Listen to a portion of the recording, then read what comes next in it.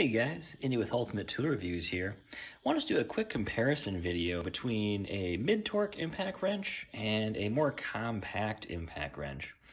Of course, there's pros and cons to owning each one, uh, but if you're kind of like me, you're more of a, I guess say DIYer, work a lot around the house. Sometimes, you know, I got to pull off trailer tires, pull off truck tires.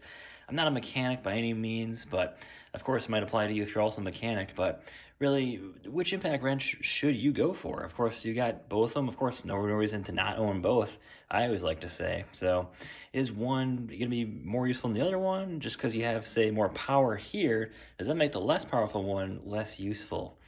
Well, let's take a look at these both impact wrenches quick. And this is the, of course, newer.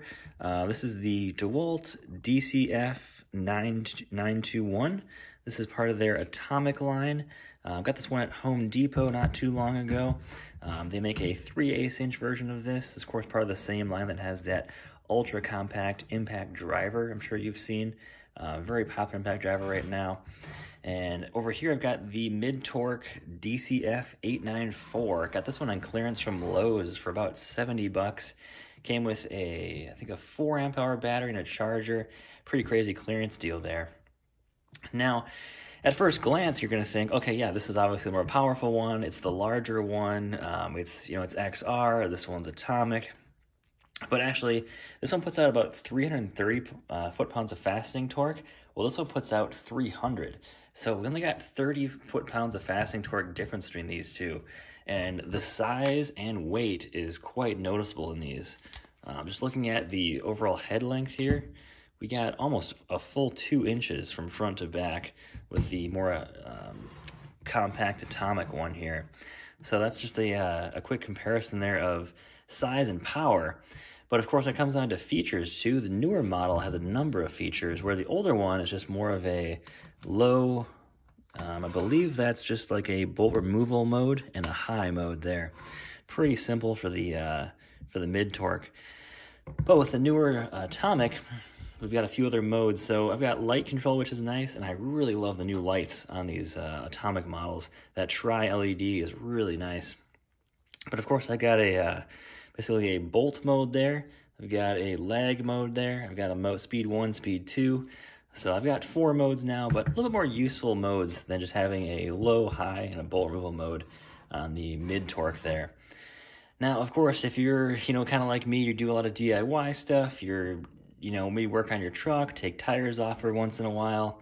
Um, both of these will do lugs without any issues. Um, this one actually saved me an emergency when I had to change out a trailer tire at a client's house that just went flat all of a sudden. Um, really came in handy. Really nice to have and be able to pull those lugs off really, really quick. And I had a had the tire changed, and I think, man, just a couple minutes. I had a full size jack with me. I always keep a uh, a half inch um, deep socket impact set with me in my truck, just in case. Always nice to have, of course. Um, but of course, you know, I keep the mid torque at home. You know, having extra power at home, it's fantastic. A little bulky, you know, to carry this around with me. If I got to put it in a pack out, um, keep it in my truck somewhere, you know, it's it's pretty bulky to have. It's it's pretty pretty big. But of course, you know, I got it pretty cheap, so that makes it really nice. But what I keep in my basically my daily bag with me every day, I definitely keep this one with me. So I can do a lot of working with some big lags with this, driving into some big pieces of timber. Um, I can also pull off lugs, which is fantastic. So a lot of versatility in these new really compact impact wrenches. So when it comes down to choosing between one, I mean, you know, depending on what you do, if you got more heavy machinery, say you live more in a rural area, yeah, you know, going with a little bit more power is definitely more useful to you.